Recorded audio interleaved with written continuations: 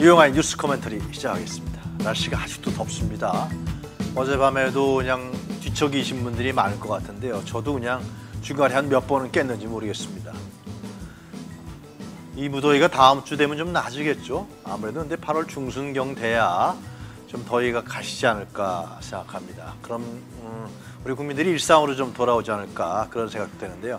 조금만 좀 힘내시고 어, 그리고 이제 좀 다음 주 되면 좀 선선한 바람 불지 않을까 기대도 저희가 해봅니다. 자 오늘 어, 음, 저희 코미테 뉴스 세 가지를 준비했습니다. 자 지금 이제 온 국민이 90% 이상이 반발하고 있는 그런 사건이 발생했죠. 한 4일 됐는데요. 4일 내내 아마 이 윤석열 정부의 교육부 혼비백산 했을 것입니다.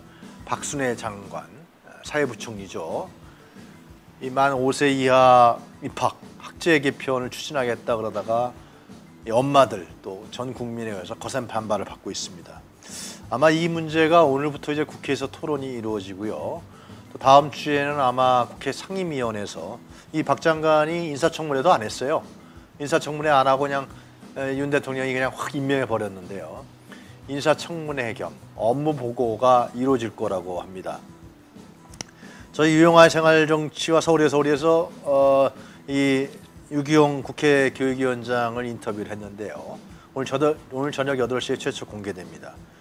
교육위원장이 이런 얘기를 했습니다. 박순애 장관은 사퇴 요구로 발전하고 있다. 자기도 적절한 시점을 봐서 만약에 박순애 장관에 대해서 사퇴 얘기를 할 생각이다. 아, 이렇게 얘기하고 있습니다. 자, 그리고 공론화 문제도요. 이 공론화할 분위기 아니라는 거예요, 지금요. 이거는 철회해야 할 분위기다. 문제 제기와 규탄이 이어지기 때문에 무슨 그 대통령실의 사회수석이라는 사람이 갑자기 나타나서 이 공론화 하겠다 그랬는데 뭘 공론화 하냐 이거예요, 도대체 이거는. 철회해야지. 도대체 뭘 상식한 아무 준비도 안 돼 있고 어디도 한 번도 얘기해 보지도 않은 어, 현장에 있는 교사나 학부모들이나 하다못해 국회라든가 아무한테도 얘기 안 하고 불쑥 대통령이 신속히 하라 그러니까 지시 내리니까 바로 발표한 이거 공론할 거냐 바로 폐, 철회해라 이런 요구들이 큰다, 큰다는 것입니다. 그래서 국회가 열리면 박순애 장관 사퇴가 자연스럽게 나올 것이고요. 박순애 장관이 사퇴해야 5세 입학 정책은 폐기된다는 것이죠. 그런데요, 사퇴 안 하면 어떡할 겁니까? 사퇴 안할 수도 있어요. 또 버티기 작전에 들어갈 수 있어요. 그것은 제가 다음 두 번째 코멘트리 뉴스에서 말씀드릴 때 그런 예상과 짐작이 되는데요. 자, 사퇴 안 하면 국회 어떡할 겁니까? 제목은 뭐죠? 어, 여기 휴가 때 말이죠. 우리는 언론에서 자꾸만 뭐 고민한다, 대통령이 뭐 노심초사한다, 뭐 그런 얘기가 들려왔고 실제로 그런 줄 알았는데 영국 관람하러 갔습니다. 물론 영국 산업이 상당히 힘들기 때문에 대통령이 가는 것은 힘이 되겠죠. 그러나 아, 부인인 김건희 여사와 함께 영국 관람을 갔어요. 그리고 나온 뉴스가 대통령이 휴가가 끝나도 뭐 인사 쇄신이라든가 대통령실 인사라든가 뭔가 쇄신책이 안 나올 것이다. 대통령은 그럴 생각이 없다. 그랬어요.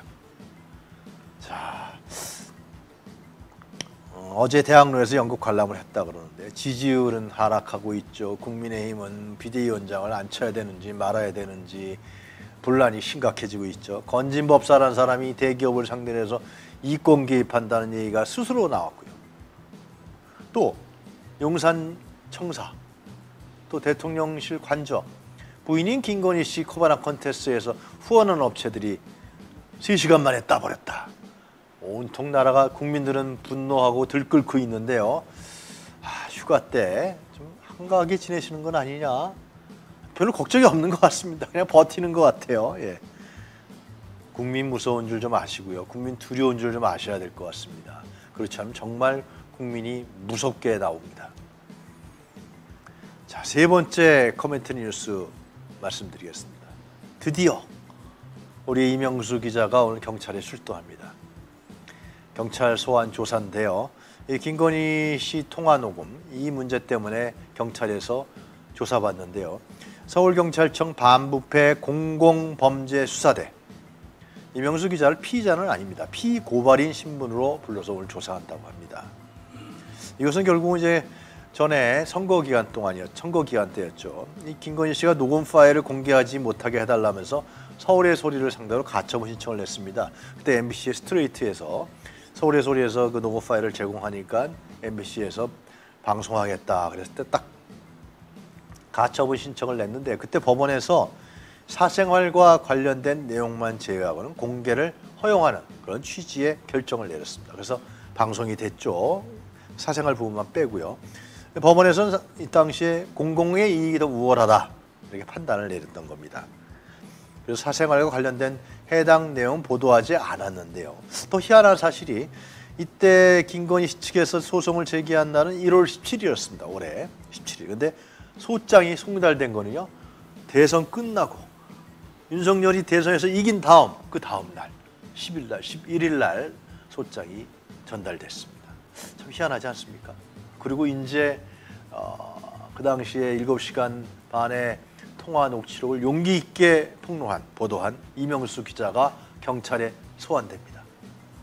자, 이명수 기자 오늘 가시는 발걸음 어떨지 모르겠습니다만 국민 믿고 확실하게 가서 분명하게 밝히시길 바랍니다. 자, 오늘의 코멘트 뉴스 여기서 정리하고 다음 순서로 넘어가겠습니다. 서울의 소리를 물심양면으로 응원하기 위해 서울 상점이 드디어 문을 열었습니다. 서울 상점은 365일 여러분께 품질 좋은 상품을 제공하고 그 판매 수익금은 서울의 소리 운영비로 돌아가는 상생하는 상점입니다. 믿고 주문하실 수 있도록 신선한 제철 음식부터 골라 먹는 재미가 있는 간편식 그리고 품질 좋은 생활용품까지 엄선하여 판매하고 있습니다. 우리의 힘으로 만들어가는 응징 언론 오늘도 서울의 소리를 시청하시고 필요한 제품은 서울 상점에 오셔서 구매해 보세요. 쇼핑이 후원이 됩니다. 서울 상점 서울샵.net